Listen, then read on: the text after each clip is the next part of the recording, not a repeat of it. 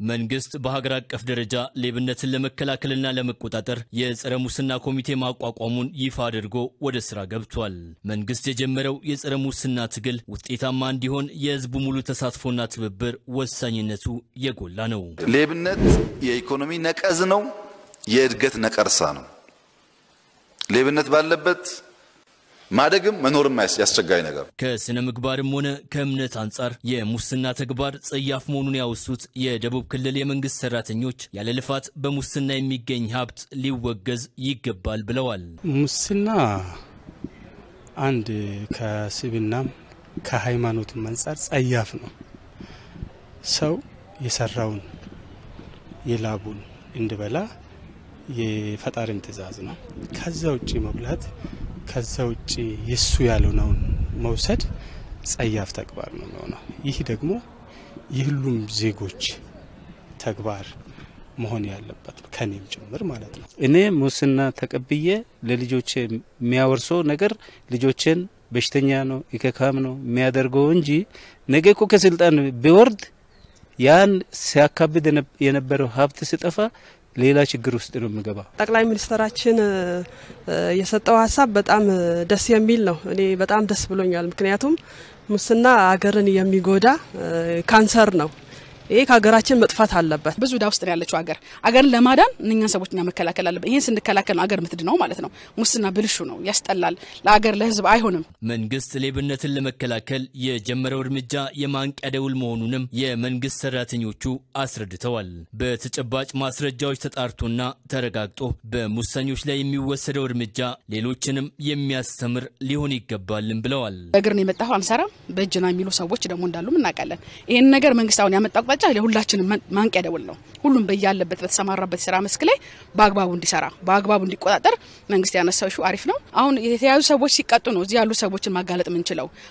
ማለትም ውሳኔ ሲሰጥ ሌላውን ለመስራት ተጋለ ውሳኔ ካልሰጠው ነው አሁን ወደኋላ ሰው የሚለው እኔ የሆነ ሰውን ባጋልጠው ያ ሰው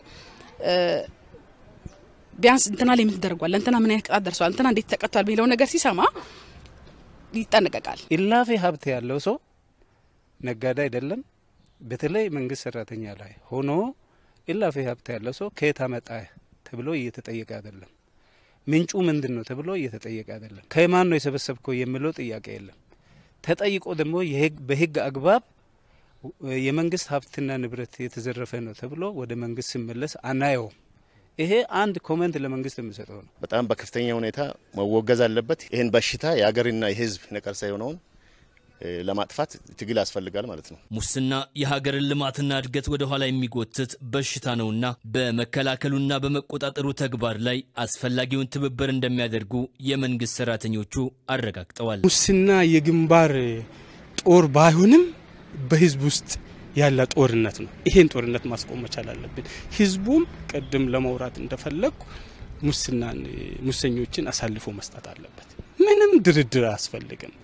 በኃጢአት የተሰበሰበ ገንዘብ አይሆንም፣ ለጽድቅ አይሆንም፣ ለጄኔሬሽን የሚተርፍ አይደለም። ከህዝቡ የሚጠበቀው ያው ሙሰኞችን አጋልጦ ለመንግስት አሳልፎ መስጠት አለበት። ምክንያቱም ይሄ ትውልድን የሚገል ነገር ነው። ምክንያቱም መጥፋት አለበት ከሀገራችን ላይ። ህዝቡ መተባበር አለበት፣ ከመንግስት ጎን መቆም አለበት ብዬ አምናለሁ። እኔ አገርን ለማስቀጠል ዜጋን ለማስቀጠል ልማትን ለማስቀጠል እውነተኛ ነገር መሬት ላይ እንዲወርድ ሙስናን በጋራ ተቃውመን መስራት አለብን። ያልተገባ ሀብትን በሙስና አማካኝነት ያከማቹ የመንግስት አመራሮችና ሰራተኞች ሊፈተሹ ይገባል የሚሉት የክልሉ ሰራተኞች መንግስትም ጥቆማ የሚሰጡ ግለሰቦችን ደህንነትና ሚስጥራዊነት ላይ በጥንቃቄ ሊሰራ ይገባል ብለዋል። የኔ ገቢ ስንት እንደሆነ መንግስት ያውቃል፣ ህዝብም ያውቃል።